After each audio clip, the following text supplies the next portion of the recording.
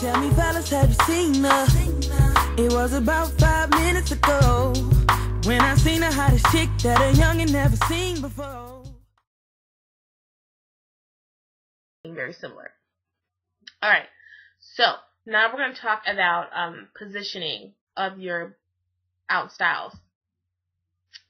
If you know that you want a side part, make sure that you part your hair where you want your part to be, and then you can maneuver your bantu knots or twists or braids or whatever it is um, around that part so that you make sure that you get your part. If you know you want bangs, you need to make sure that you do your twists or braids or bantu knots or whatever it is that you're doing um, in the area that you need you want your bangs. If you're doing bantu knots, it's really it's not a lot easier because if you guys saw um, I, to get my bangs, I actually uh, made sure that I had a just chunk was in a band bantu knot. This chunk needed to be in a band bantu knot so that that become a bang.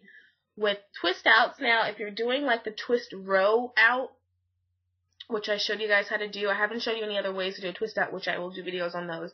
Then you need to make sure that you have your twists going down the side. You need to braid your twists down the side, or your or braid your braids down the side, whatever you're doing, to make sure that you can have a bang. Because if you just do them straight back, your hair is gonna go straight back. So you want to do your twist or bantu knots in the direction that you want your hair to be styled. So that's why positioning is only important. It's only important because it'll give you, it'll make the hair fall where you want it to fall. Um, if you're just gonna do like a, like if you're just gonna twist the back up or the sides up, it doesn't really matter where you put them. If it's something very specific like a bang or a certain part, then you really want to focus on positioning. If it's if you're not doing anything important where um hair falling in certain places doesn't really matter as much. You don't have to worry about positioning.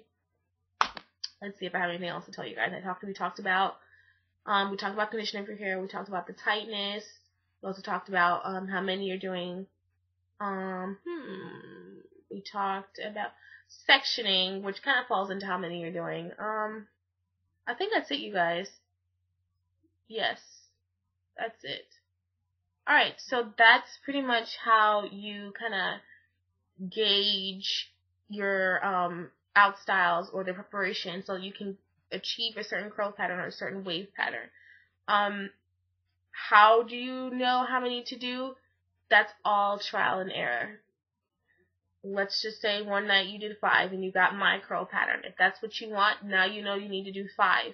It's up to you now to decide how tight you want to wrap them around so you can get more definition or less definition uh, so to speak, or for bantu knots. Um, if you know you want, once you've got that down pat, and you know, okay, if I do five, I get this kind of curl pattern. Now you can kind of gauge from there. All right, so I want a tighter curl tomorrow. You have two options. You can either do more bantu knots so that you can get a tighter curl. It'll be a little bulkier also.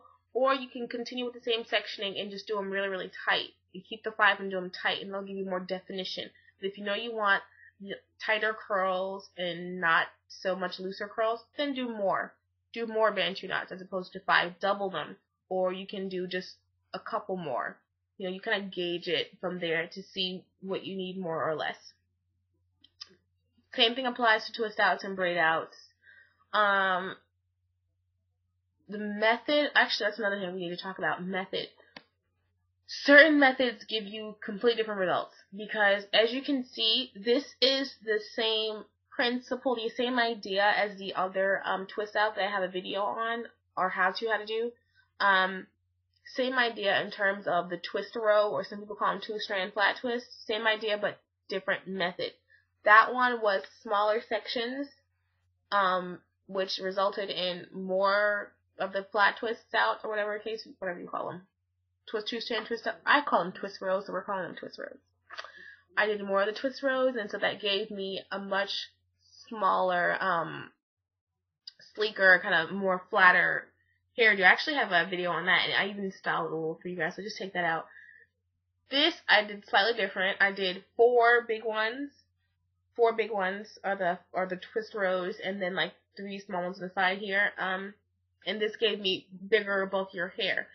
Another version of a twist out, other than the twist rows, if you can't do those, is to um just two strand twist your hair. A two strand twist is pretty much getting a section of hair and then wrap the hair around each other like that. Really easy. However, when doing those, understand that only the ends will be um wavy. The roots will not be wavy because if you want the roots to be wavy, you have to do your twist row because that'll be able to get all the hair or as close to the scalp as it can um, to give you a wave. Otherwise, if you just do the twist strand twist, understand that your ends the only thing that's going to be um, wavy, and your roots wherever the twist was not on or the twist was not touching or affected by, whatever the case may be. I don't even know what the word is. whatever you did not twist, whatever hair you did not twist, which pretty much is your roots, won't it'll be straight or whatever texture it was before. Um, let's see. You can, however, if you can't do the twist rows, and you can only do two strand twists, if you do smaller sections, um, more root will get twisted, but that means at this point you need to do like really small sections, which can be more irritating. but um yeah, I want to do a few more videos on different out styles so you guys can see what I'm talking about. I'm going to do some more braid outs. I want to do a few more versions of twist outs so you guys can see the different options you have for achieving whatever looks that you're looking for. So, like I said, method does play a part in the kind of definition you're getting and how much of the hair is going to get the definition, all sorts of things like that. So just kind of play around with your hair, you guys. Um, that's about it.